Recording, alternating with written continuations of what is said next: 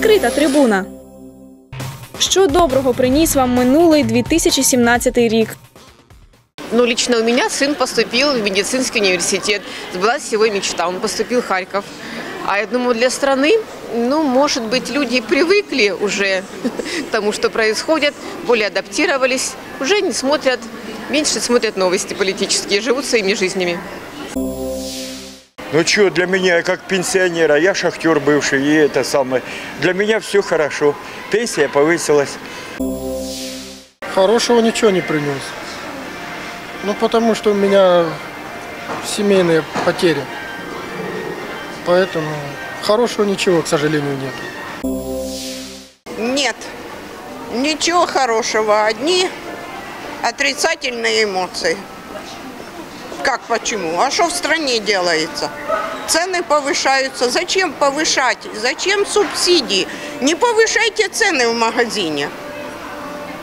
А также оно, мы снова станем миллионерами. Мы уже были миллионерами. Зачем эта игра туда-сюда?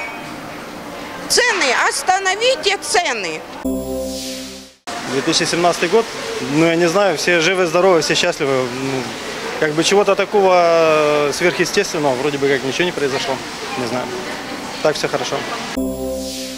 Ото одно тільки, що нам пенсію повисили, мені вже 78 років і більш-менш. А продукти все повишають і пенсія ця уходить.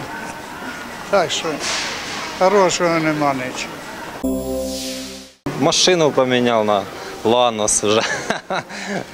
Ну, немножко, да, финансово так э, улучшилось, скажем, состояние.